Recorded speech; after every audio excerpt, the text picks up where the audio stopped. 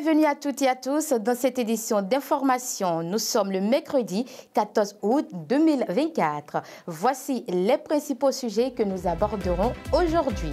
Alors que nous sommes à quelques années de 2030, les progrès vers les objectifs de développement durable suscitent des préoccupations en raison de leur lenteur. Le rapport de juin sur la pêche et l'aquaculture fait le point sur les réalisations récentes. Dans le monde culinaire, l'aubergine africaine est en pleine saison à Paraco. Nous explorons ce légume-fruit qui enrichit les plats non seulement par sa saveur, mais aussi par ses bienfaits. Et puis, dans le dossier, la cossette d'ium, ingrédient central de la cuisine africaine, a gagné en popularité ces dernières années. Bien qu'elle soit maintenant largement commercialisée, elle rencontre des défis. Nous vous en dirons plus dans ce journal. Voilà donc pour le sommaire. Le développement, c'est tout de suite.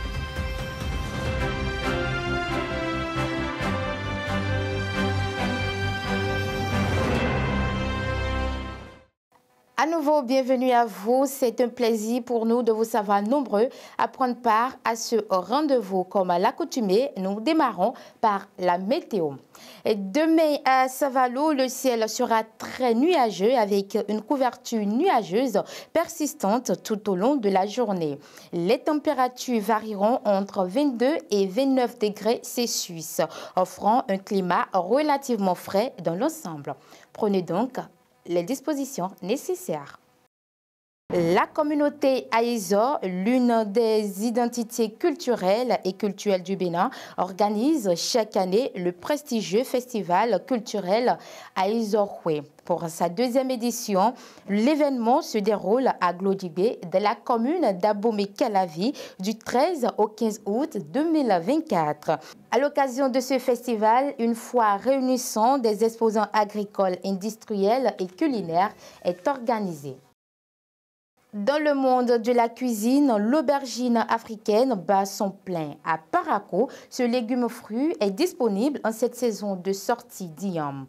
Cet ingrédient des recettes traditionnelles ne se contente pas d'ajouter des saveurs riches et variées au plat. Il offre également des bienfaits nutritionnels remarquables. Découvrons-les avec Nadège Ekbo, Ronel Goudou et Baïcha Dichari. L'aubergine africaine appelée Sambinou ambariba est un légume fruit au goût amer et à la texture ferme, couramment utilisé dans les cuisines africaines. À Parakou, elle est disponible sur les marchés avec l'arrivée de la nouvelle igname. En plus de son goût, elle est appréciée pour ses bienfaits nutritionnels, enrichissant les plats et contribuant à la santé. Sambinu là, ça sort que si Yam sort là, Yam neuf, c'est ça que Sambinu là aussi sort. Comme les gens aiment ça, c'est pour manger avec Yam pilé. Même si c'est la pâte simple, on peut manger ça avec. Et c'est bon pour la santé. L'aubergine africaine est, est riche en micronutriments comme la vitamine C, la vitamine K et la vitamine E aussi. Il est aussi beaucoup riche en potassium. Le potassium favorise un bon rythme cardiaque. Il permet également une, une bonne digestion parce que c'est un légume fruit. Donc, en cas de constipation, par exemple, on peut se référer à ce légume. Selon Nazira Touboukari, infirmière spécialisée en nutrition humaine, l'aubergine africaine renforce les os, améliore l'absorption du fer et favorise la coagulation du sang surtout pour les femmes enceintes et les diabétiques. On peut recommander par exemple l'aubergine pour les femmes enceintes en postpartum, c'est-à-dire après l'accouchement ou même pendant la grossesse. On peut par exemple conseiller l'aubergine africaine aux diabétiques parce qu'il permet une, bonne régulation du taux de glycémie sanguine. Aux consommateurs, je les encourage à beaucoup plus consommer, mais toujours avec modération. Il est à noter que l'aubergine africaine, originaire d'Afrique de l'Ouest, est un ingrédient clé dans de nombreux plats traditionnels et convient à tous les âges sous forme de purée pour les enfants de 8 à 9 mois.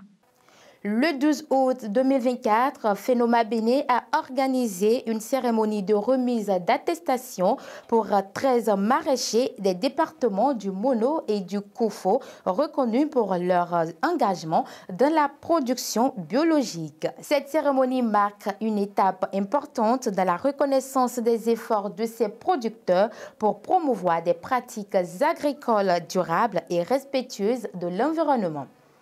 Comme on l'annonçait en titre, à moins de six ans de 2030, les progrès vers les objectifs de développement durable suscitent de vives inquiétudes. Ils avancent trop lentement. Le rapport sur la situation de la pêche et de l'aquaculture, publié en juin dernier, dresse un bilan des dernières années. Découvrez les points clés avec Ruth Edo. Le rapport de cette année de l'Organisation pour l'alimentation et l'agriculture FAO sur la situation des pêches et de l'aquaculture SOFIA 2024 fournit une vision essentielle des tendances, des défis et des perspectives. La surpêche, le changement climatique et la pollution marine continuent de faire peser une pression croissante sur les ressources halieutiques. Les stocks de poissons marins exploités à des niveaux biologiquement non durables ont atteint un niveau pic atteignant 35% en 2024 et 34% en 2022 et demeurent un problème majeur dans les zones tropicales où la gestion et le contrôle sont souvent insuffisants. Toutefois, le rapport met en évidence des avancées significatives dans certaines régions grâce à la gestion durable des pêches, les bonnes pratiques de gestion des quotas, de fermeture saisonnière et de zones marines protégées démontrent que des méthodes scientifiques et rigoureuses peuvent renverser les tendances de baisse. La croissance de l'aquaculture est toujours constante et elle représente maintenant 55% de la production mondiale de poissons pour la consommation humaine. La raison principale de cette augmentation réside dans la demande croissante des protéines aquatiques dans les pays en développement et dans l'essor des technologies de production durable. Dans le SOFIA 2024, les conséquences environnementales de la pêche et de l'aquaculture sont une préoccupation majeure. Les défis majeurs à relever sont la détérioration des écosystèmes marins, la destruction des habitats côtiers et la pollution causée par les déchets plastiques et les produits chimiques utilisés dans l'aquaculture.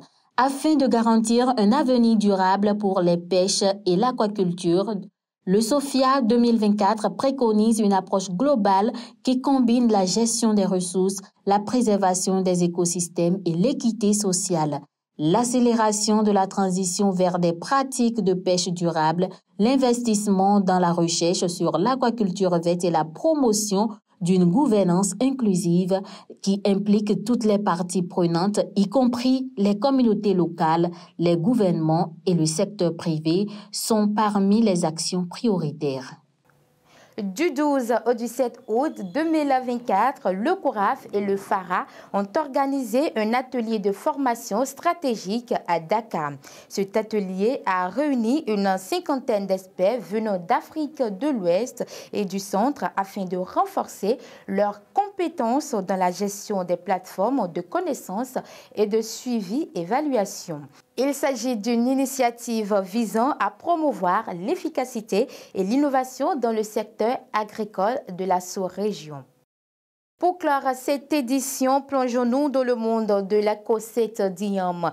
Et oui, une denrée qui connaît une expansion notable malgré certains défis. La cossette d'ium, recette fondamentale dans la cuisine africaine, a vu sa popularité croître considérablement ces dernières années. Devenue une activité commerciale largement répandue, elle est désormais omniprésente sur les marchés. Cependant, bien que cette denrée soit rentable, elle rencontre des défis importants. Suivez le reportage.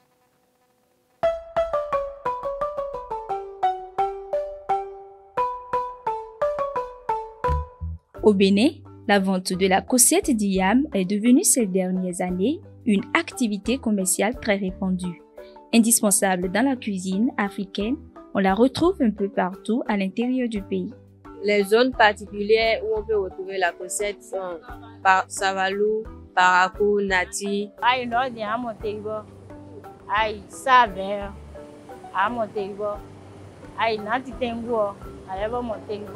Actuellement, cette denrée coûte cher sur le marché mais reste rentable.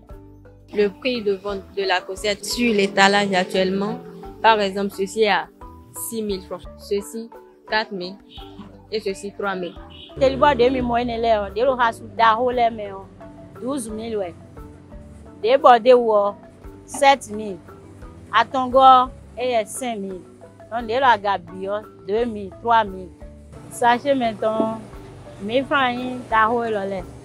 Donc elɔ lɛ 500. Elle est 800. Au moins, à ça, au moins à 5 000. Sur un sac, on peut se faire un bénéfice de 30 000.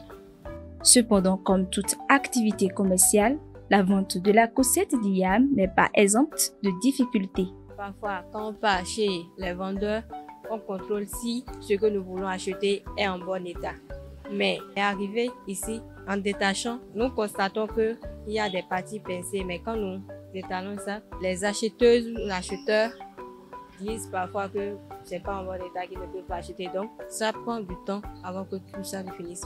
Vendu à grande échelle dans le mois de décembre sur l'ensemble du territoire national, il est nécessaire de reconnaître l'importance de cette activité économique.